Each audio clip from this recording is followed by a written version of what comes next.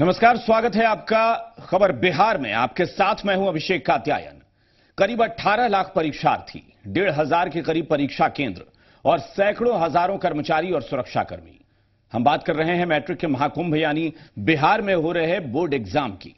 पूरी तैयारी और सुरक्षा बंदोबस्त के बीच राज्य में सबसे बड़ी परीक्षा शुरू हो गई है। कड़े इंतज़ाम के बीच बोर्ड एग्ज़ाम का पहला दिन संपन्न हो गया। बिहार में मैट्रिक का महाकुंभ, यानी बोर्ड की सबसे बड़ी परीक्षा शुरू हो चुकी है। मैट्रिक के करीब 18 लाख छात्रों का राज्य भर में एग्ज़ाम चल रहा है। पहले दिन की इन छह तस्वीरों से आप अंदाज़ा लगा सकते हैं कि एग्ज़ाम सेंटर पर परीक्षार्थियों की कितनी भीड़ है। ये राजधानी पटना में हो रही बोर्ड एग्ज़ाम की तस्वीरें हैं। कदाचार मुक्त परीक्षा के लिए सभी परीक्षा केंद्रों पर कड़ी चौकसी और सुरक्षा तैयारी देखने को मिली। एग्ज़ाम हॉल में घुसने से पहले सभी परीक्षार्थियों को गहन जाँच से गुजरना पड़ा। हम घर से जैसे निकले थे ना हम भूल गए। हाँ। हाँ, भूल गए। अब एग्ज़ाम देना पड़ेगा तो जब जूता खोल देंगे। बोर्ड की गाइडलाइंस के मुताबिक ज़्यादातर छात्र चप्पल या स्लीपर में परीक्षा देने पहुँचे जबकि कुछ छात्र ऐसे भी थे जो जूता मोजा पहन कर आए थे। ऐसे छात्रों को अपने जूते मोजे उतारने पड़े जिस पर कुछ अभिभावकों ने नाराज़गी भी जताई। क्या जूता निकालने का प्रावधान नहीं पता था? नहीं हमको हम अभी बनारस से आए अच्छा। तुरंत पेपर देने के ज़ाहिर है इम्तिहान सिर्फ़ छात्रों का ही नहीं बल्कि बोर्ड का भी है क्योंकि दावा कदाचार मुक्त परीक्षा का है। बोर्ड परीक्षा में इस बार सत्रह लाख सत्तर हज़ार से भी ज़्यादा छात्र शामिल हैं। इनमें छात्राओं की तादाद आठ लाख सतहत्तर हज़ार से भी ज़्यादा है। एक हज़ार चार सौ छब्बीस परीक्षा केंद्रों पर एक साथ इम्तिहान चल रहे हैं। ज़ाहिर है, आयोजन बड़ा है, इसलिए कुछ गड़बड़ियाँ भी हो सकती हैं। देखना यह है कि पूरे आठ दिनों तक चलने वाली इस महापरीक्षा के दौरान बोर्ड और प्रशासन की मुस्तैदी कितना असर दिखाती है। पटना से रूपेश के साथ ब्यूरो रिपोर्ट। परीक्षार्थियों को कदाचार मुक्त परीक्षा के लिए प्रेरित करने के लिए बोर्ड की तरफ़ से आदर्श परीक्षा केंद्र भी बनाए गए हैं, जहाँ छात्रों को हर सुविधा दी जा रही है। वैसे दो एक छिटपुट अगर वाक्यों को छोड़ दें तो बिहार बोर्ड की पहले दिन की परीक्षा शांतिपूर्ण तरीके से संपन्न हुई। लेकिन इस दौरान जूतों के जूते को लेकर परीक्षार्थियों में अफरा तफरी का माहौल ज़रूर दिखा। कुछ एक परीक्षा केंद्रों पर परीक्षार्थियों के जूते चोरी हो गए, जिस पर हंगामा हुआ। मैट्रिक परीक्षा में जूते पर जंग सेंटर पर चोरी हो गए जूते। परीक्षा केंद्र पर खाली पाँव। गए थे परीक्षा की जंग लड़ने और जूते गंवाकर वापस लौटे। जी हाँ, ये तस्वीरें कटिहार की हैं, जहाँ परीक्षा केंद्र पर जूते के लिए जंग छिड़ी है। दरअसल बोर्ड के आदेशानुसार, जो छात्र जूते मोजे पहनकर परीक्षा देने पहुँचे थे, उन्हें सेंटर के बाहर ही जूते खोलने पड़े। पर जब परीक्षा देकर छात्र बाहर निकले तो कई के जूते गायब हो चुके थे। जूत जूता कितना का खो गया ये बहुत गलत है सरकार का ये नीति बहुत गलत है। कैमूर में भी परीक्षा केंद्रों पर जूते को लेकर अफरा तफरी का माहौल रहा। यहाँ भी जूता मोजा पहनकर परीक्षा देने आए छात्रों को नंगे पैर ही एग्ज़ाम हॉल में जाना पड़ा। हैरानी की बात यह रही कि परीक्षा केंद्रों पर तैनात शिक्षकों और पुलिस कर्मियों को अभी तक बोर्ड के आदेश की लिखित कॉपी नहीं मिली है। पता नहीं था लेकिन यहाँ आए तो पता चला। क्या जूता निकालने का प्रावधान नहीं पता था? नहीं हमको हम अभी बनारस से आए। अच्छा।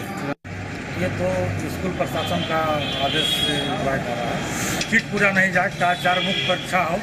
हम लोग यही उम्मीद कर रहे हैं यही चाह रहे हैं। इससे बच्चों को नहीं हो। इससे बच्चों को कोई परेशानी? कोई परेशानी नहीं। बिहार बोर्ड ने परीक्षा का माहौल बेहतर बनाने के लिए हर ज़िले में कुछ आदर्श परीक्षा केंद्र बनाए हैं।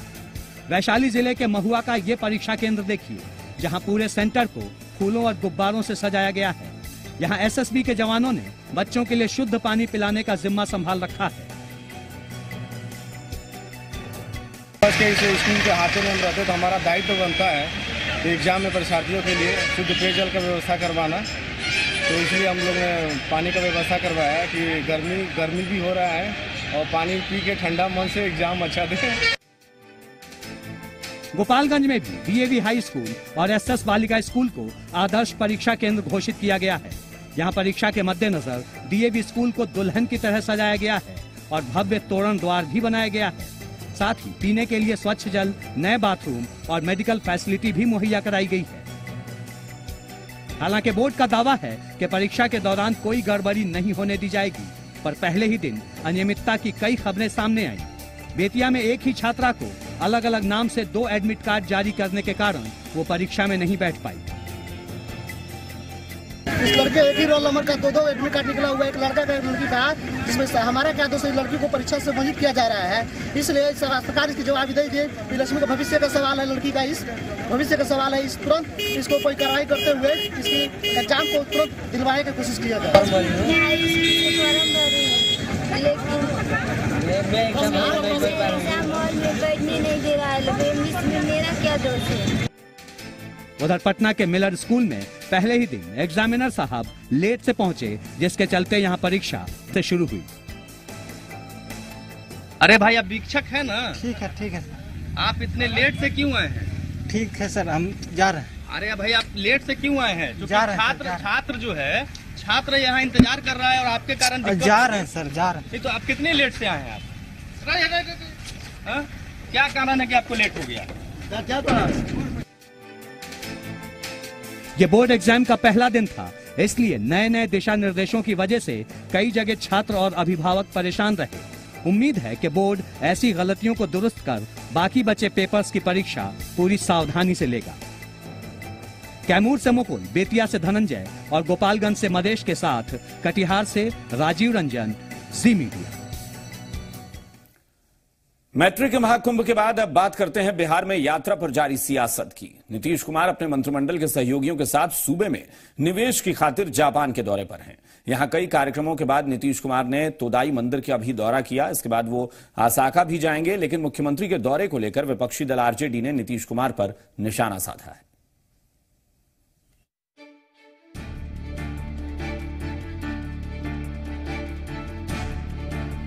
बिहार के मुख्यमंत्री नीतीश कुमार इन दिनों जापान यात्रा पर हैं। टोक्यो में सीएम ने मशहूर तोदाईजी टेंपल के दर्शन किए, लेकिन उनके दौरे को लेकर सूबे में सियासत लगातार तेज होती जा रही है। मुख्य विपक्षी दल आरजेडी ने कहा है कि जब जब नीतीश परेशान होते हैं तो समस्याओं को छोड़कर विदेश यात्रा पर चले जाते हैं। आज लोकतंत्र त्रस्त है, नीतीश जी ने 11 करोड़ लोगों को धोखा दिया है तो इनको रात में नींद नहीं आती है, ये बेचैन है, खुद को दोषी मानते हैं। तो कम से कम मानसिक रूप से इनको शांति मिले या मानसिक इलाज का हो सकता है बड़ा हॉस्पिटल हो तो इलाज कराने के लिए जापान गए हैं। इनको कहीं जाने से कोई मतलब नहीं है। वहीं इस मामले पर जेडीयू प्रवक्ता नीरज कुमार ने पलटवार करते हुए कहा कि मुख्यमंत्री सूबे की विकास की खातिर काम कर रहे हैं लेकिन ये बात उनको नहीं पच रही जो होटवार जेल में बंद है। और खास कर करके जापान का नालंदा विश्वविद्यालय के पुनर्स्थापन में योगदान है। अभी चरवाहा विद्यालय वाले को क्या ज्ञान होगा कि नालंदा विश्वविद्यालय क्या होता है? तो माननीय मुख्यमंत्री जी को तो कम से कम जापान बुलाया गया। आपको तो होटवार जेल बुलाया जा रहा है। तो आप कहाँ चक्कर पड़ गए जापान के? आप चक्कर पड़िए होटवार की। वहीं बिहार विधानसभा के पूर्व अध्यक्ष उदय नारायण चौधरी ने नीतीश कुमार की यात्रा की तारीफ़ करते हुए कहा है कि इस यात्रा से बिहार को ज़रूर लाभ मिलेगा। मैं तो धन्यवाद देता हूँ कि विदेश गए हैं, माननीय मुख्यमंत्री जी। और कुछ न कुछ वहाँ से लेके आएँगे, वास्तव में धरातल पर उतरे, क्योंकि पहले भी लोग गए हैं, लेकिन अब तक धरातल पर तो कुछ रिज़ल्ट आया नहीं है। अब देखना है, लेकिन इस बार हमको उम्मीद है कि कुछ न कुछ ज़रूर वहाँ से धरातल पर उतर के आएगा जापान से। बहरहाल, नीतीश भले ही जापान दौरे पर हों, लेकिन बिहार में जापान यात्रा को लेकर सियासत गर्म है। रिपोर्ट, जी मीडिया। जापान यात्रा पर मुख्यमंत्री नीतीश कुमार ने जापान के नारा प्रांत और बिहार के बोधगया को सिस्टर स्टेट के रूप में जोड़ने का प्रस्ताव दिया है। नारा प्रांत के गवर्नर शुगो अरई ने इसका समर्थन किया और इसके अनुपालन के लिए अपनी सहमति जताई है। वहीं भारतीय दूतावास ने भी इसे लागू करने में मदद की बात कही है। दोनों नेताओं ने बुद्ध की शिक्षा और दर्शन के महत्व को लेकर विस्तार से चर्चा की। इस मौके पर नारा प्रांत के गवर्नर ने मुख्यमंत्री नीतीश कुमार के दूरदर्शी नेतृत्व की तारीफ़ की। उन्होंने बिहार में किए जा रहे महत्वपूर्ण विकास कार्यों का भी ज़िक्र किया। बिहार के सीएम नीतीश कुमार की जापान यात्रा पर जेडीयू के पूर्व सांसद शरद यादव ने निशाना साधा है। लोकतंत्र बचाव यात्रा पर हाजीपुर पहुँचे शरद यादव ने केंद्र और राज्य सरकार पर बिहार की जनता को छलने का आरोप लगाया। बिहार में यात्रा की राजनीति बढ़ती जा रही है। बिहार के मुख्यमंत्री नीतीश कुमार के बाद पूर्व मुख्यमंत्री और आरजेडी नेता तेजस्वी यादव यात्रा पर निकले। और अब शरद यादव की लोकतंत्र बचाव यात्रा शुरू हो चुकी है। शरद यादव केंद्र और राज्य सरकार के काम से नाराज़ हैं। उन्होंने राज्य सरकार पर 11 करोड़ लोगों को छलने का आरोप लगाया है। 11 करोड़ लोगों ने जो विश्वास इनको दिया था, हिंदुस्तान के लोकतंत्र के इतिहास में ऐसा जो विश्वास है उसको कुचलने का काम यहाँ जो गठबंधन में हम लोगों ने जिनको अगुआ बनाया था, उन्होंने ये काम किया। आज ऐसे लोग जो कल तक पूरे देश के अंदर माननीय मुख्यमंत्री नीतीश कुमार जी के प्रति जो उनकी भाषा निकलती थी और आज इस तरह के भाषा बोलकर बिहार से प्रतिनिधित्व करते हैं और बिहार के नेतृत्व पर प्रश्न उठा करके बिहार की जनता को कहीं न कहीं ये डिमोरलाइज कर रहे हैं। इस मौके पर राज्यसभा सदस्यता खत्म किए जाने को लेकर भी शरद यादव का दर्द छलक उठा। किसी अन्याय के खिलाफ जब यहाँ हमारा यहाँ जो है वो हमारा कोई वास्ता नहीं था? तो यहाँ क्यों लड़ रहे हैं हम? यदि कोई अन्याय पूर्वक हमारे हमारे हमारे ऊपर करे हम तो इस्तीफा दिए अपने मन से भी। लेकिन ये इस्तीफा जो है ये जो हमको राज्यसभा से निकाला गया है हम उसको न्यायपूर्ण नहीं मानते। ज़ाहिर है पूर्व राज्यसभा सांसद शरद यादव और नीतीश कुमार के बीच तलखियाँ कम नहीं हो रही बिहार में लोकतंत्र बचाव यात्रा पर निकले शरद यादव ने हाजीपुर में मुख्यमंत्री नीतीश कुमार की जापान यात्रा को लेकर तल्ख टिप्पणी की। बात जान लीजिए कि तेरह बरस में इस आदमी ने एक सुई का कारखाना भी नहीं लगाया ये अकेली यात्रा नहीं है, कई बार ये बाहर हुआ है। और यहाँ भी कई सम्मेलन किए। यहाँ का जो चीनी उद्योग है, वो तबाह हो गया है। कोई उद्योग एक ज़िंदगी में नहीं लगाया। कि जापान का नालंदा विश्वविद्यालय के पुनर्स्थापन में योगदान है। अभी चरवाहा विद्यालय वाले को क्या ज्ञान होगा कि नालंदा विश्वविद्यालय क्या होता है? तो माननीय मुख्यमंत्री जी को तो कम से कम जापान बुलाया गया। आपको तो होटवार जेल बुलाया जा रहा है। तो आप कहाँ चक्कर पड़ गए जापान के? आप चक्कर पड़िए होटवार के। बहरहाल, ये सारी कसरत 2019 के चुनाव को लेकर लालू प्रसाद यादव के जेल जाने के बाद शरद यादव ने विपक्षी दलों को एकजुट करने की ज़िम्मेदारी उठा रखी है। दोनों के बीच पिछले दिनों मुलाकात भी हुई थी। कह सकते हैं कि राजनीतिक यात्रा से ज़्यादा ये चुनावी यात्रा है। Shailendra, Zee Media, Patna. Nitish Kumar की जापान यात्रा और शरद यादव की लोकतंत्र बचाव यात्रा के बीच पूर्व डिप्टी सीएम तेजस्वी यादव की न्याय यात्रा भी जारी है। इसके तहत तेजस्वी मधेपुरा पहुँचे, जहाँ बिहारीगंज जनता हाई स्कूल में जनसभा का आयोजन हुआ। तेजस्वी के दौरे के मद्देनजर मधेपुरा में देर रात लोग सड़क पर उनका इंतज़ार करते भी नज़र आए। तेजस्वी के मधेपुरा सर्किट हाउस पहुँचने से पहले मिठाई गाँव के महादलित बस्ती और भान टेक टेकठी गाँव में तेजस्वी यादव को देखने के लिए लोगों की भीड़ पहुँच गई। इस मौके पर फूलमाला से तेजस्वी का स्वागत किया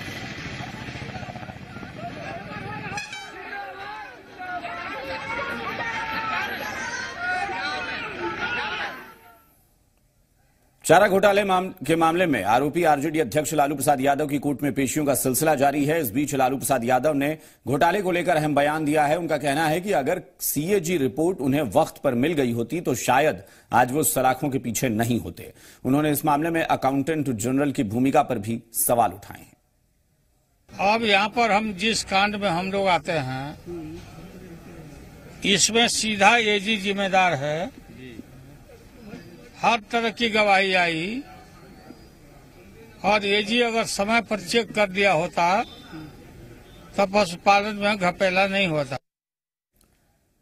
चलिए, अब बात करते हैं छेड़छाड़ के आरोप में कस्टडी में मौजूद इनकम टैक्स ऑफिसर की। आयकर विभाग के ज्वाइंट कमिश्नर और एकलव्य सुपर 50 के संचालक रामबाबू गुप्ता को एक छात्रा से छेड़छाड़ के आरोप में गिरफ़्तार किया गया है। पीड़ित छात्रा एकलव्य सुपर 50 से ही मेडिकल की तैयारी कर रही है। छेड़खानी के मामले में आईआरएस अधिकारी गिरफ़्तार। आईटी ज्वाइंट कमिश्नर ने की शर्मनाक हरकत। मेडिकल स्टूडेंट के साथ की बदसलूकी। तड़के तीन बजे पुलिस ने की कार्रवाई।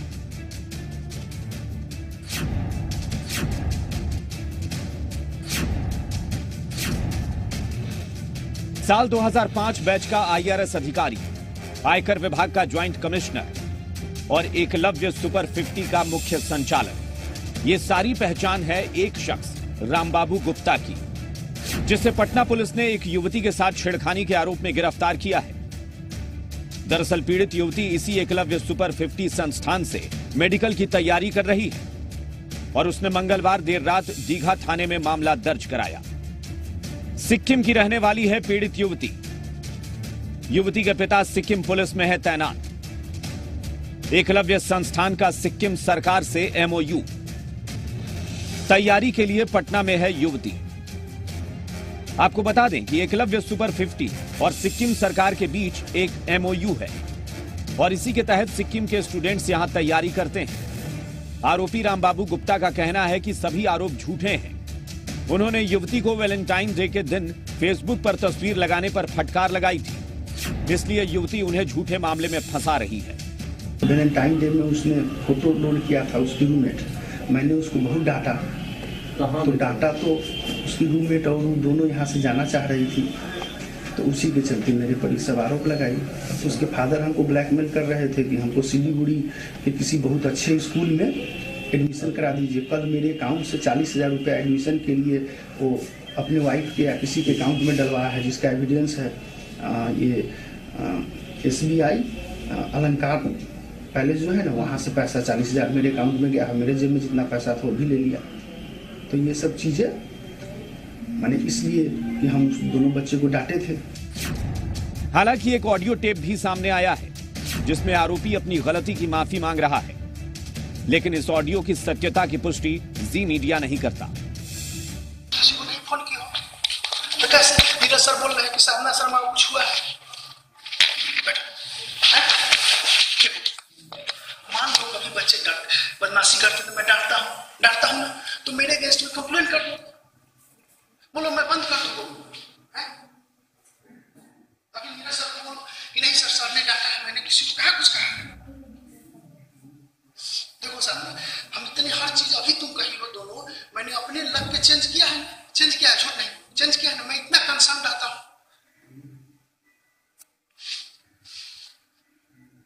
तुमने किसी को कहा होगा तब तो कैसे तुम नीरज सर कैसे कहे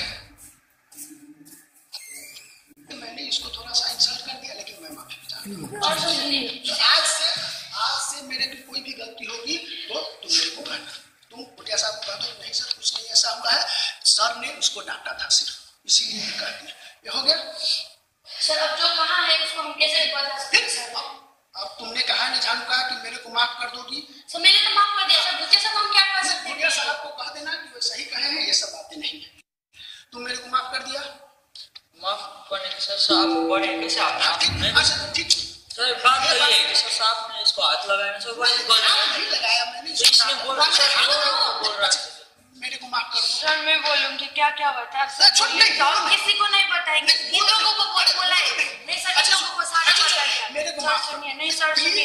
हम ऊपर गए थे टेरेस पे। चुप चुप मे- मेरे को माफ़ कर दो। नहीं सर ये लोग ना आपके मुँह से सुनना चाहते अच्छा ठीक है तुम जो कह रही हो सही है। ठीक है? मैंने सर मेरा भाई का आपको देवता मान जानका प्लीज़ जानका प्लीज़ मैं वैसा ही आदमी हूँ इसके पापा ने मेरे कुल मिलाकर अब यह जाँच का विषय है कि सच क्या है। लेकिन इतने सीनियर अधिकारी पर इस तरह के आरोप ज़रूर शर्मसार करने वाले हैं। सहयोगी अमित के साथ संजय कुमार जी मीडिया पटना। पटना में डिग्री पर छात्रों का दंगल जारी है। रेलवे ग्रुप डी फॉर्म में आईटीआई डिग्री मांगने के विरोध में छात्रों ने पीरबहोर और कदमकुआं थाना क्षेत्र में जमकर गदर काटा। इससे पहले मंगलवार को भी छात्रों ने रेलवे कोचिंग संस्थानों में तोड़फोड़ की थी। इसी क्रम में पटना के करगिल चौक पर प्रदर्शन कर रहे छात्रों पर पुलिस ने लाठियाँ भी भाजी प्रदर्शनकारी छात्रों ने वहाँ सड़क जाम कर दिया था, जिसके बाद पुलिस को लाठीचार्ज करना पड़ा।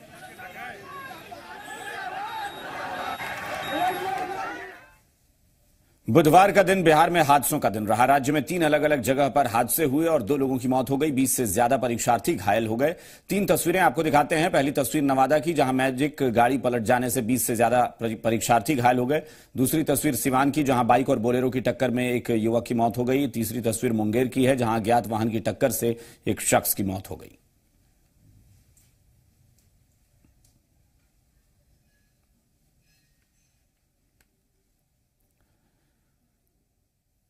नवादा के नगर थाना क्षेत्र के भगवानपुर गाँव में एक अजीबो गरीब मामला सामने आया है। दरअसल शादी के एन मौके पर दूल्हे की तबीयत खराब हो गई। इसके बाद दुल्हन ने शादी से इनकार कर दिया। हालाँकि सब कुछ अपने तय कार्यक्रम से हुआ। दूल्हे का जयमाला से लेकर गाल सिकाई तक हुआ। लेकिन मंडप में पहुँचते ही दूल्हे सुधीर चौधरी की तबीयत बिगड़ गई। लड़के के परिजनों के मुताबिक सुधीर जैसे ही मंडप में पहुँचा, उसकी तबीयत बिगड़ी और वो कांपने लगा। इसके बाद दुल्हन मंडप छोड़कर चली गई। तबियत बिगड़ने के बाद परिजनों ने दूल्हे को नवादा के सदर हॉस्पिटल में भर्ती कराया, जहाँ डॉक्टरों ने उसका इलाज किया।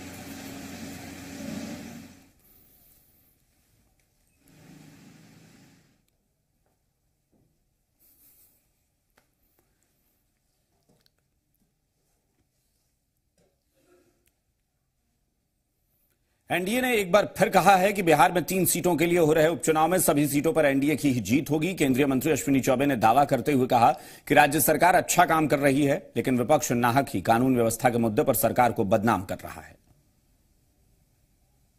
के विरोधी दल को उस दिन पता चलेगा जब मतदान के बाद प्रकाशन, वो प्रकाशन तक जब रिज़ल्ट नहीं निकलता, तब तक वो लोग पूरा देश और विदेश की बात करते हैं कि चुनाव हम जीत रहे हैं।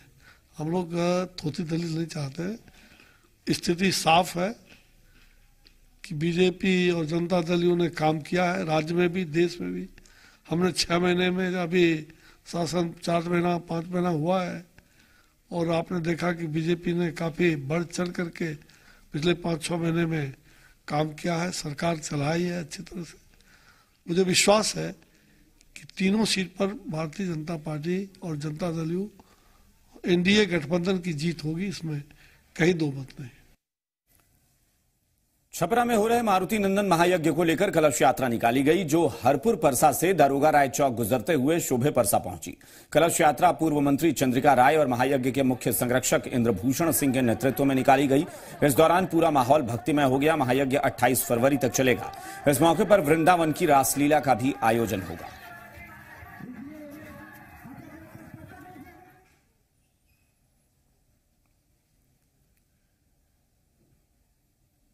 जापान यात्रा पर गए मुख्यमंत्री नीतीश कुमार ने हिरोशिमा के शहीद स्मारक का भी दौरा किया, जहाँ उन्होंने दूसरे विश्व युद्ध में शहीद हुए सैनिकों को श्रद्धांजलि दी।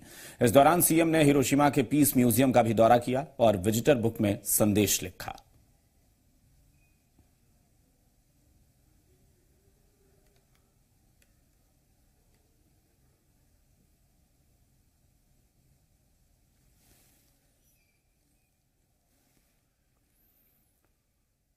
बिहार के सरकारी कर्मचारियों ने होली के मद्देनजर फरवरी महीने का वेतन एडवांस में मांगा है। सचिवालय सहायक ने सरकार से 25 से 26 फरवरी तक एडवांस वेतन भुगतान की मांग की है। टीडीएस वगैरह के चक्कर में कर्मचारियों का वेतन देरी से आ सकता है। ऐसे में सरकार से एडवांस वेतन की मांग की गई है।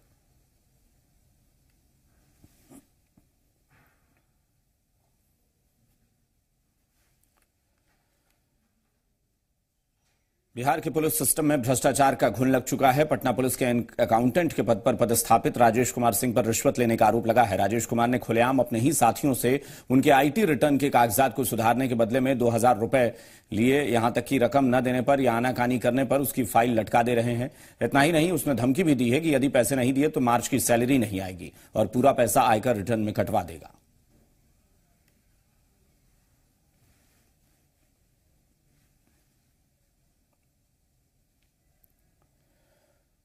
पूर्वी भारत का सबसे बड़ा कृषि यंत्र मेला गुरुवार से शुरू होने जा रहा है। मेले का उद्घाटन कृषि मंत्री प्रेम कुमार करेंगे। पटना के गांधी मैदान में लगने वाला यह मेला अगले 25 फरवरी तक चलेगा। मेले में देश विदेश की सबसे आधुनिक कृषि संयंत्र मौजूद रहेंगे। मेले में लोगों के आकर्षण का केंद्र मोबाइल कोल्ड स्टोरेज होगा, जो किसानों के लिए बेहद फ़ायदेमंद साबित हो सकता है। कृषि विभाग के प्रधान सचिव सुधीर कुमार की माने तो सरकार कृषि यंत्रों की खरीदारी पर किसानों को सब्सिडी देगी। और मैं समझता हूँ कि यह मेला जो है, इसमें देश के कई राज्यों के और प्रतिनिधि भाग ले रहे हैं और बड़ी संख्या में लोग आएँगे।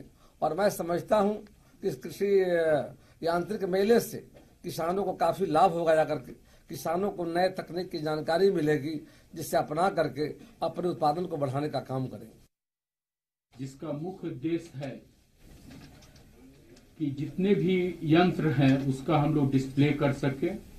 और साथ साथ जो जितने भी नए तरह के यंत्र भी अगर इस बीच में कोई डेवलप होते हैं तो उसको भी इसमें डिस्प्ले किया जाता है। और कोई भी किसान अगर जिनको कोई यंत्र अगर उसमें पसंद आता है क्रय करना चाहते हैं तो क्रय भी कर सकते हैं। प्रधानमंत्री नरेंद्र मोदी की उज्ज्वला योजना से भारत की करोड़ों महिलाओं के जीवन में बड़ा बदलाव आया है। एक मई 2016 को योजना उत्तर प्रदेश में शुरू हुई थी और उत्तर प्रदेश के बाद इस योजना का सबसे ज़्यादा लाभ बिहार की महिलाओं को मिला। इस योजना से बिहार की महिलाओं के जीवन स्तर में बहुत बदलाव आया है।